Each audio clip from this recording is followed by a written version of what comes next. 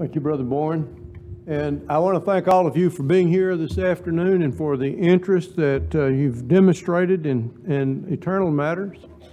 It's hard to get a, a group of people uh, interested very much in the moral law of God, and uh, uh I'm sorry to say that, but it is true.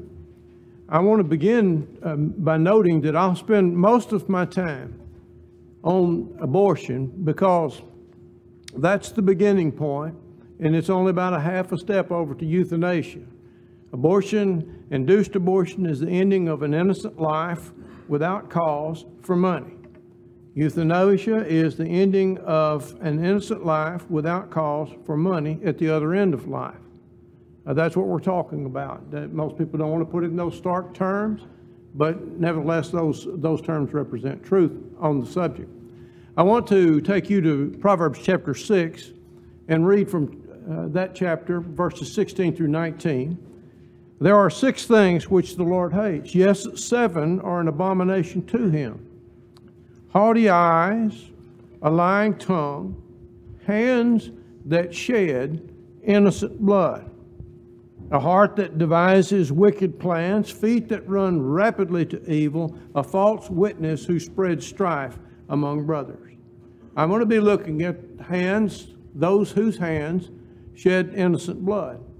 On an average day, on an average day in the United States of America, in the home of the free, in the land of the brave, about 4,300 babies are routinely destroyed. And those who are killed in horrific manner will be killed without the benefit of legal counsel. They'll not be afforded the privilege of going uh, before a judge and having a trial.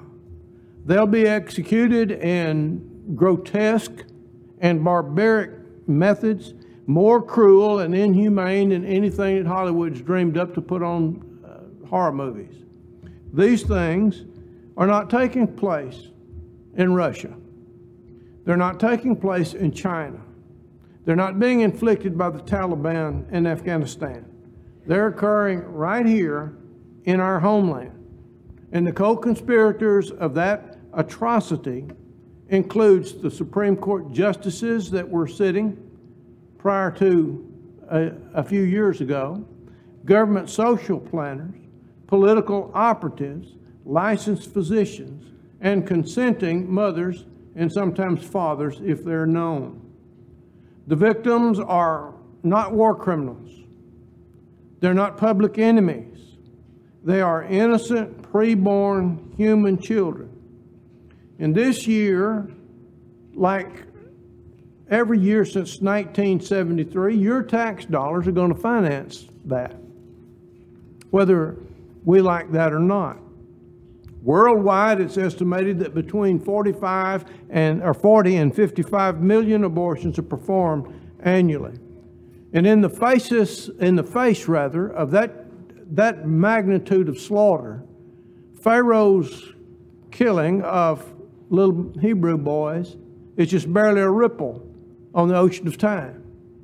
Herod's slaughter of the baby boys of the little village of Bethlehem would not equal the, the death toll inflicted by one modern clinic by, of Planned Parenthood. On January the 22nd, 1973, nine unelected lawyers wearing black robes issued a decree that will live forever in infamy.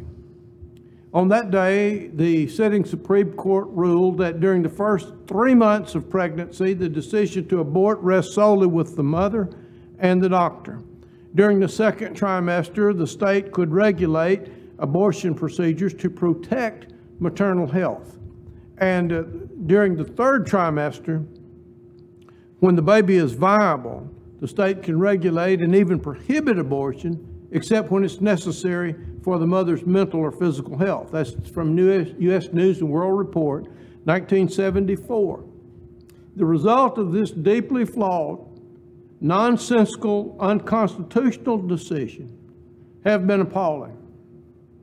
Through the loophole of what is said to be the mother's mental or physical health, babies are now legally destroyed throughout pregnancy, except in states that are imposing restrictions. You need to know that abortion is killing a living human being, a human that has brain waves, has a, an established heartbeat, whose organs are all in place by 12 weeks of gestation. You should know that Planned Parenthood harvests aborted baby parts and sells them for money. You should also know that of their, their what are called their super centers or their larger clinics, that over 80% of those clinics are located in minority communities. You should know that the only essential difference between a preborn baby and one born is the way in which the child receives oxygen and nourishment. That's all. You should know that infanticide and euthanasia are a natural outgrowth of abortion. In 2019, the, the governor, the sitting governor of the state, or the Commonwealth really, of Virginia, Dr. Ralph Northam, a pediatric neurosurgeon, no less, advocated for what he called abortion, abortion after delivery, or euthanasia of a living person. Here's a quote from the good governor. If a mother's in labor, I can tell you exactly what would happen. The infant would be delivered. The infant would be kept comfortable. The infant would be resuscitated if that's what the mother and the family desired. Then a discussion would ensue between physicians and the mother. So I think this was really blown out of proportion, Northam said during a radio interview. The governor of Virginia, a pediatrician, a, neuro, a, a pediatric neurosurgeon, advocates murdering children after delivery, and he thinks everybody's blowing it out of proportion who's upset with what he said. Northam gave a specific reason for committing this sort of murder. Severe deformities, he said, would justify that. Please note that every advocate of abortion is enjoying the right to life that was afforded to them by the protection of the law and their own parents. Humans tend to turn their face away from unpleasant scenes. I understand that. It's easy, easy to remain ignorant on issues like this. But ignorance will not excuse us, my brethren. The wise man wrote in Proverbs 24, verses 11 and 12 Deliver those who are being taken away to death, those who are staggering to slaughter. Oh, hold them back. If you say we did not know this, does not he consider it who weighs the hearts, and does he not know it who keeps your soul? And will he not render to a man according to his word? The very land cries out for something to be done. Since 1973, more than 63 million innocent lives in the United States have been sacrificed. How many scientists? How many doctors? How many teachers? How many gospel preachers? How many great men and women have been lost to us because of this? At long last, a major step has been taken in the right direction. This very week, the Supreme Court annulled the effects of the Roe v. Wade uh, decision. There are some preliminary considerations that I want us to think about. Now, we need to understand that the battle's not over, it's just starting. But the Supreme Court wisely and correctly handed those decisions to the states, where it should have been all along.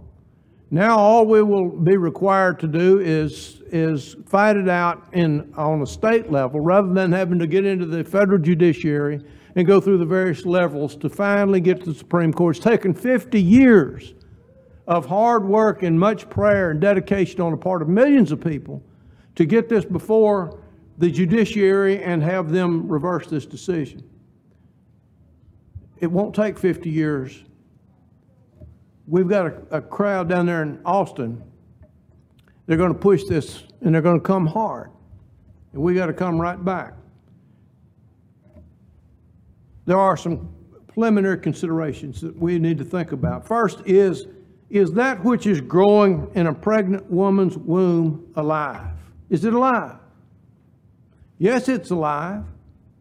When did it come to life? When did it come to be alive? At what point in time? At the moment of conception. Now, if the life thriving in the pregnant mother, is that human life? And if it's not human life, what kind of life is it? If you read philosophy, uh, you'll get over into some things uh, called, or a thing called logic. And there is a, a law of the excluded middle. And what that, that's just a fancy way of saying it's either this or that. It can't be sort of this and sort of that. It's one or the other. And that is true here. So if it's not human life, what kind of life is it? Is it animal life? Is it vegetable life? What is it? Is this living, growing life an appendage or a part of the mother's body? Not at all. Babies regularly have even a different blood type than their mother. They're an independent being. Mother feeds them, mother provides for them. We're not taking away from what mama does. But I'm saying to you that that life is an independent life. It's a completely new life from conception. Is this life in the mother's womb innocent? And without question, it's innocent. Does abortion willfully kill this innocent human life? Yes, that's the primary reason. You go down to Houston and give them, or wherever people go now, $300 to do it. Is it wrong to willfully, knowingly kill a human life? If so, why is that? It is because, and it is wrong, and it is that is true because God bequeathed to man a status that's above every other creature he called forth on this planet. Genesis chapter 9 and verse 6 says, Whosoever sheds man's blood by man, his blood shall be shed. Why? For in the image of God he made him. No other creature that God made has that distinction. Vital biblical considerations come to play in wrestling with these questions. Much confusion on the issue exists because many have not really carefully thought about what Scripture says relative to abortion. A number of things, and I want us to understand this on the front end, uh, many things are determined, right or wrong, on the basis of principles revealed in the Bible. And that's, this is such a thing. And I freely grant to you this afternoon that abortion is not specifically mentioned in the Bible either positively or negatively. Nowhere does the Bible say, Thou shalt not contract for an abortion. It doesn't say that. Not in the Old Covenant, not in the New Covenant. But there are, however, many biblical principles which speak to the issue. We have, we have ample guidance from God. First of all, notice this life, your life, my life, every other individual's life that's granted is a gift from God Himself. Acts chapter 17 and verse 25. Nor is he served by human hands, since he himself gives, now watch it, he himself gives to all people life and breath and all things. That word in English, A L L, only three letters, but it's a big word. It's a big word, it's a big concept. And what did he say? He said, All life. God gives it. God gave the gift of life, and he alone has the right to take that life. Genesis 50 at verse 19. Joseph's brothers are before him. Their father has died, and they have what we used to call the heebie jeebies because they know that they sold their brother into slavery. And they know that as long as their daddy was living, that he was going to be protective of them. But now, their brother, who has somehow arisen to be the grand vizier in Egypt, has them standing before him. And they're worried he's going to take vengeance. But Joseph responded to that Do not be afraid, for am I in God's place? He might have been the grand vizier of Egypt, but he recognized that he wasn't God. And so Joseph is not going to raise his hand to those brothers. He replied, It's not within my authority to kill any of you? For am I in the place of God? And of course, the answer is no. Only human life reflects God's image. Genesis chapter 1 and verse 26. Then God said, Let us make man in our image, according to our likeness. Let them rule over the fish of the sea and over the birds of the sky and over the cattle and over all the earth and over every creeping thing that creeps upon the earth. That elevates human life to a place above, to a status above all other life forms on this planet. From the earliest times, the killing of, of man has been forbidden because he shares in the nature of God. Again, I'll take you back to Genesis 9 and verse 6. Whoever sheds man's blood, by man his blood shall be shed. For in the image of God he made man. The Lord's teaching concerning the value of human life was revolutionary in his time. Uh, people had to have been astounded. They were astounded by the words that he spoke. The world of men that Jesus encountered had little respect for human life. Historians tell us as many as 60 million souls suffered under Roman slavery, Roman bondage. Many, many thousands of the Roman citizens flocked to the Colosseum, to the games, to see men, enslaved men, have to fight one another or wild beasts in contest to the death. That was their attitude. They didn't value people very much. Infants were commonly killed at birth. If they were unwanted, they were abandoned, cast aside. Somebody could pick it up if they wanted to in the midst of this, Jesus taught that the life of human beings is so precious that God would give his very best to save that life. John 3, verse 16 says, For God so loved the world that he gave his only begotten Son, that whosoever believeth in him should not perish, but have everlasting life. That's the best that even God can do to try to save mankind. Obviously, that life is worth something to the Almighty. Subsequent to his resurrection, Jesus is still concerned about every human being.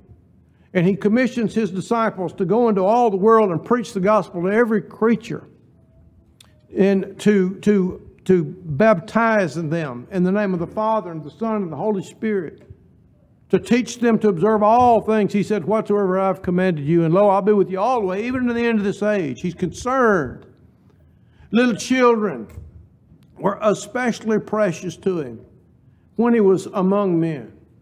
And he issued a stern rebuke to his disciples on one occasion, Matthew 19, 13, and 14, because they were busy with kingdom business. And they didn't want those kids up there making racket and getting in the way and causing disruption. And so they're going to run the children off. And then some children, it says, were brought to him so that he might lay hands on them and pray. And the disciples rebuked them, that is, they rebuked the children.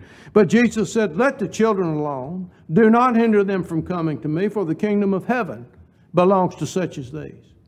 Scripture, brethren, Scripture makes no qualitative distinction between prenatal and postnatal life, between an unborn baby and a born baby. No distinction in terms of quality. No distinction in terms of value. Not in Scripture. The same words are used in Scripture to talk of a neonate, a preborn child, that refer to a young child. Same words. Why? Because they don't make a distinction. Preborn John the Baptist is referred to as a person in Luke 1 and verse 41. When Elizabeth heard Mary's greeting, the baby leapt in her womb and Elizabeth was filled with the Holy Spirit. He was somebody. He could leap, he could respond. Perhaps the most expressive passage in describing the personhood of a preborn child is given to us by David in Psalm 139, verses 13 to 16. He says, For you formed my inward parts, you wove me in my mother's womb. I will give thanks to you, for I am fearfully and wonderfully made. Wonderful are your works, and my soul knows it very well. My frame was not hidden from you when I was made in secret and skillfully wrought in the depths of the earth. Your eyes have seen my unformed substance, and in your book were written all the days that were ordained for me, when as yet there was not one of them. God recognized David as a person as he was being curiously and wondrously wrought, as he describes it, in the womb. Already God had a job in mind for King David. God's law has always taught that murder's wrong. You can go back to the smoldering, trembling Mount Sinai in Exodus chapter 20, verse 13, where God is with Moses and writing on the tablets of stone, and he said, You shall do no murder. Good old King James Bible says, Thou shalt not kill, but that's not what it says. What it says is, You shall do no murder. I baptized an old Marine one time that was hesitant, and I knew why he was hesitant because he had been in combat. And I, I spoke to him, I said, Let me tell you something, you didn't murder anybody. You didn't murder anybody. All you did was defend yourself in a conflict that other people put you in. Baptized him that afternoon. And so we need to keep in mind that it's always been wrong to murder. You shall do no murder. That's what the text says. Romans 13, verse 9, you shall not murder. Both testaments. Murder is the willful taking of an innocent life. Abortion is the planned, intentional killing of an innocent human life without cause. I mean, to say that his presence is going to be embarrassing is not a cause to kill him. To say that his presence is going to be inconvenient and it's messed up all my plans for going to the beach this summer is not a sufficient reason to kill that child. And I hope that we're all in agreement with that. The victim is completely innocent, having done no evil, spoken no ill word, not against the mother, the doctor, the uh, society in which this procedure takes place. In many abortive situations, it is the selfish motivation of others that are placed above the life of an innocent baby. Baby can't defend himself. No baby's a grandmaster of jujitsu or taekwondo or one of the other arts, Kodo, uh, uh, Shotokan, or one of the other martial arts. Baby can't defend himself. He's each target. Our paramount rule of living will not allow the killing of an innocent baby with no cause. Jesus said in Matthew 7, verse 12, All things whatsoever you would that men should do unto you, do ye even so unto them. For this is the law and the prophets. If this rule were applied, the abortion industry would evaporate. The clinics would close immediately for lack of business. What mother in the world wants to be killed by dismemberment as a D&C abortion procedure inflicts death on a children, a child? What abortionist would want to be ripped apart? Is there a nurse anywhere on earth who assists in abortions who would want to be torn from her home and ripped apart literally by a powerful machine. Do you know anybody that aspires to that? Remember, by the time early abortions are performed, 8 to 12 weeks, the baby has his entire organ system in place and he has the full capacity to sense pain. Paul instructs the Christian to put the good of others before his own. You know, we're hearing a lot today and seeing a, a, lot of upset and disruption because people are saying, well, you know, it's my body, it's my choice, it's my life, it's my plans. You're hearing me, me, me, me. But what Paul says to us as Christians is that we're to put the good of others before ours. In Philippians 2, verses 4 through 8, the text says, Do not merely look out for your own personal interests, but also for the interest of others. have this attitude in yourselves, which was also in Christ Jesus, who, although he existed in the form of God, did not regard equality with God a thing to be grasped, but he emptied himself, taking the form of a bondservant and being made in the likeness of men, being found in appearance as a man, he humbled himself by becoming obedient to the point of death, even death on a cross. Our Lord, brethren, condemns in the strongest possible terms those who are without natural affection. I believe I'm safe in asserting that somebody that, that has another person that they should love killed and pays money to get it done is without natural affection. Romans chapter 1, verse 31, he says, without understanding, covenant breakers, without natural affection, implacable, unmerciful.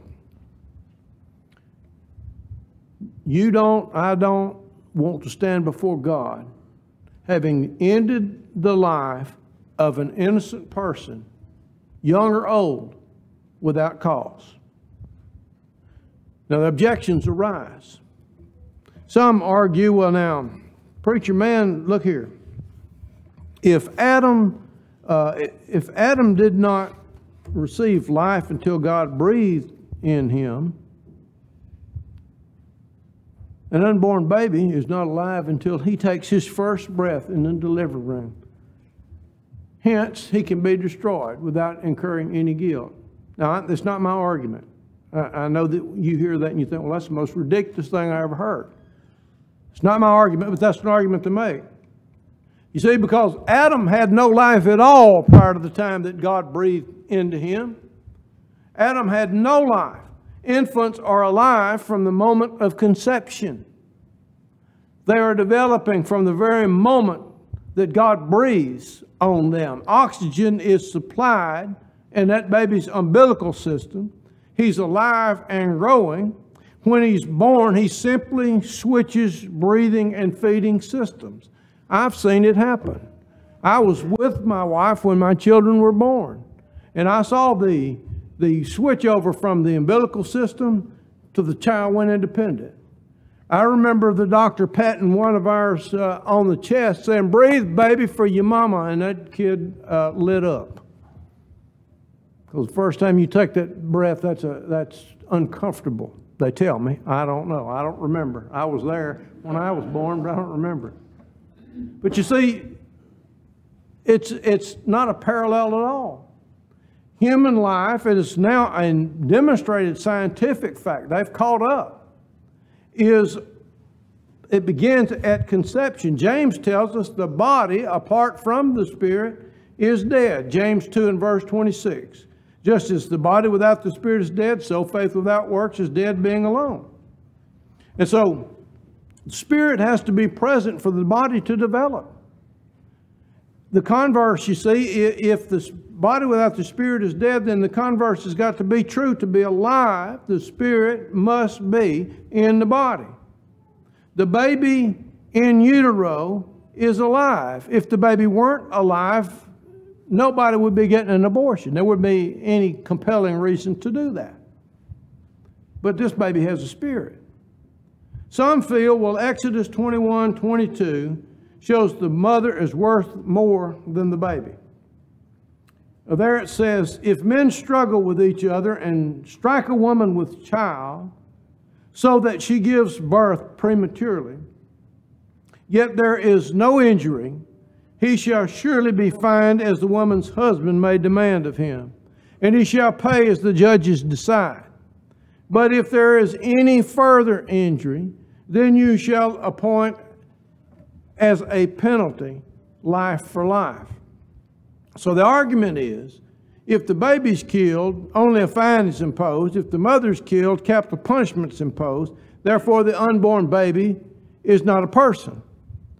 Well, that which proves too much proves nothing, and this proves far too much. You'll notice if you go further down and read verses 28 through 37, you find if your ox kills a slave, there's only a, pose, a fine imposed If it kills a free man, it's life for life. Now, is that, is that to say that a slave is not a person to be killed on a whim? If you're going to argue like they do, I don't know why you wouldn't. See, there's an alternative to that reasoning. The words, yet there is no injury, means that the child is prematurely born, but he doesn't die. He can go on his own. He's early, but he's going to make it. Then the expression, if there's any further injury, the New American Standard has it, means that if either the child or the mother or both of them die, the guilty man's executed life for life. The fine is for injury causing early delivery. The death penalty is for causing death. Regardless of the construction that we put on the passage, it does not parallel abortion.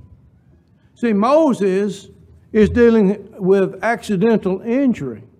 Abortion is intentional, willful destruction of innocent life. Those two are not parallel. Well, then the question arises, and it's a good question well, what is permitted when the mother's life is under genuine threat? In other words, you've got a situation here, you're going to have one death or two deaths. Doesn't happen much, but it happens sometimes. It's rare, but it can happen. Okay, so what do you do? I'll illustrate what one doctor, Dr. Uh, Jerome Lejeune, answered this way. He said, I would never attack and kill an unborn child.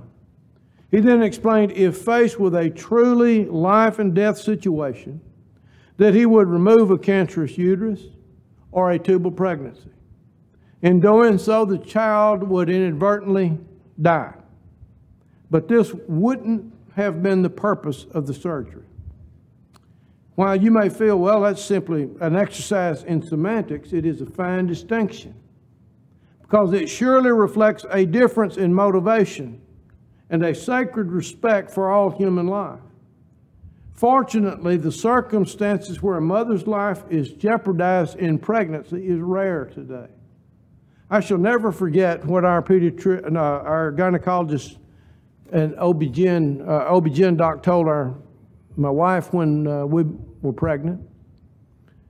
He, uh, she asked him about, can I do this, can I do that? And he, he said, well, if you're used to doing it, being vigorous and active, that's fine. And then he said, let me just stress to you, you're just pregnant, hon, you're not sick. A pregnant woman is not a sick woman. And it's treated like a disease. It's not a disease, it's, a, it's something to celebrate. Dr. J.F. Hefferman said anyone who performs a therapeutic abortion, that is for disease or something like that, is either ignorant of modern methods of treatment or unwilling to take the time to use it. Well, here's the hard one, the hardest one to my mind. What about abortion in the case of a rape? That's uh, the most horrific and barbaric injustice that could be imposed on anybody.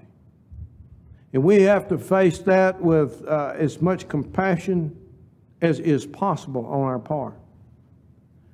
It is brutal beyond all reason. One thing that must happen, that needs to happen, is that immediate medical intervention needs to take place because you can often, almost always, prevent conception from taking place, and thus there is no unwanted pregnancy. But the question has got to be asked you know, what if there is? The question's got to be asked is life, all of life, sacred? Is it sacred or is it not? And if it's sacred, then it's got to be protected. There's punishment that should be meted out here, but it ought to be directed at the father, not the innocent baby. The baby's innocent. Well, what if somebody in your family? I haven't faced that yet, but the baby's still innocent. Life is God's gift. Acts 17 25. He gives to all life and breath and all things. Would danger of deformity make an abortion an acceptable alternative? Well, I'd pose the same question Is all human life sacred or is it not? Is a defective child in the womb human life? Is he human life after he's born or she's born? If we decide to eliminate defective unborn children, why not execute them that are born? Just how perfect do you have to be to live? I had the opportunity to take a social work degree at Freed Hardeman University. And there was a girl in our program, and I can't remember her last name, Jan was her name. She was a thalidomide baby. She was born with no arms, none whatsoever. And I can remember going into the to the cafeteria to, to eat one afternoon, and I noticed this girl over there talking, and she was doing her hair. You know how girls flip their hair and all of that eating her food. And I noticed something odd. And then it dawned on me she doesn't have any arms. She's eating with her feet. All I had to do for her is cut up the meat and put her drink in a cup. And Jan could take care of the rest of it. She ended up working in a, in a rehab center and she was the intake social worker. So they come in and see somebody with no arms, people that have had all kinds of injuries. Now, should Jan's parents have had her aborted? Or did, did she have a right to live? And I could go on and on and on because we've worked with special people. My wife worked with special people all her life. And uh, their life's precious too. You know a lot about a society by how they take care of their young, their old, and their infirm. Should Christians fight in this battle? Traditionally, brethren, we have stood back and hesitated to actively oppose this evil because we've been busy fighting about, I don't know, orphans' homes, communion cups, fellowship halls, and let me, I, I could go on. I'll just stop right there. If we can oppose tobacco, alcohol, gambling, and dancing, does anybody oppose that anymore? Am I the only preacher left in the world that preaches on that? A lot of brethren won't touch it. I mean, you couldn't shine them in, a, put them in a light and shine them on the subject. But if we can oppose those things, can't we come out against killing innocent babies? God's people are duty bound to give aid to those who are under threat. Proverbs 24, verses 11 and 12, the wise man writes, Deliver those who are being taken away to death and those who are staggering to slaughter. Hold them back. If you say, See, we didn't know this, does he not consider it who weighs the hearts? Does he not know it who keeps your soul? And will he not render to man according to his work? Yes, he will. We cannot hide behind the feeble question of Cain, am I my brother's keeper? Because Jesus said, You are. We all agree that children of God should not partake of the deeds of darkness. Paul writes in Ephesians 5 and verse 7 have no fellowship with the unfruitful darkness, but rather reprove them. Not only stay away from it, oppose it. When Herod slaughtered uh, maybe 15 or 20 babies in Bethlehem, the evangelist said Rachel wept for the children and could not be comforted. In Matthew 2 and verse 18, more than a million babies are killed in this country annually. Do you hear Eve wailing and grieving her babies. Our highest court assured us for 50 years that bloody murder was legal and right. Experts told us it was necessary for good, high quality life. We were assured that society is better uh, off without those that are unloved and unwanted. Abortionists tell us it's more humane to abort handicapped babies. The peerless Isaiah said in Isaiah 5 20 and 21 Woe to those who call evil good and good evil, who substitute darkness for light and light for darkness, who put bitter for sweet and sweet for bitter. Woe to those who are wise in their own eyes and clever in their own sight. What must we do? We must educate ourselves and we must educate our society to the reality of this monstrosity. And there is little public knowledge on the cruelty of abortion procedures. Few are well prepared to give adequate biblical refutation on abortion propaganda, but we must prepare ourselves. And we must work toward a constitutional amendment guaranteeing the right of life to all human beings, save in cases where the mother would be doomed to death if she tried to deliver. We must educate our young people concerning human sexuality in a Christian context. A high percentage of abortions are performed on unwed mothers. Parents and churches must provide biblical instruction in morality. And harsh judgmentalism must be replaced, it must be discarded with Christian compassion put in its place when an unwanted pregnancy occurs. We had a family at Livingston some years ago.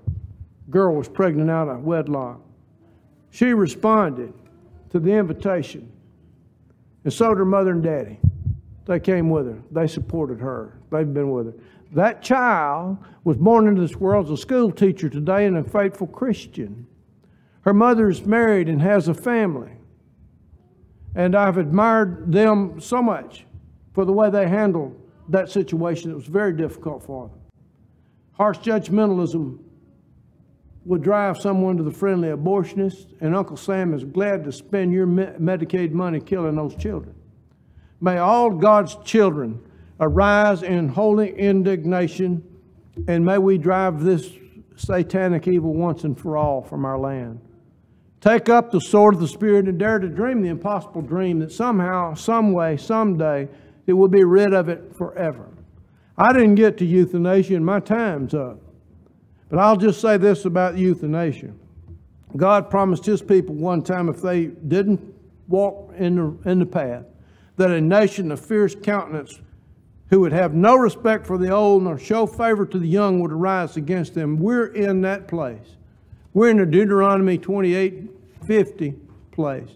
And you can be assured that someday, if this thing continues, that the young people whose brothers and sisters we killed will kill us for our estates, for our money. They'll pay that doctor. You can believe if a doctor will accept money to kill an innocent baby, that he'll accept money to kill a feeble old person. Rise up and oppose these things. May God bless you this day.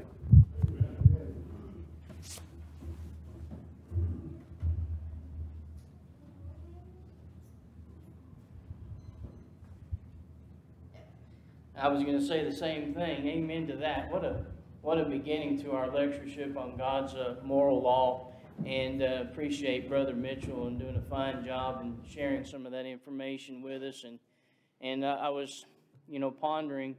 Um, uh, he was talking about uh, God recognizing life in the womb. You know, we see that in Psalm 139. But not only does He recognize life in the womb, He He has a purpose for that life in the womb, as we see in Jeremiah 1 and verse 5. And just a remarkable job this morning, this, this afternoon. I appreciate our brother. We look forward to our next uh, lecture. At uh, actually, it's in a few minutes.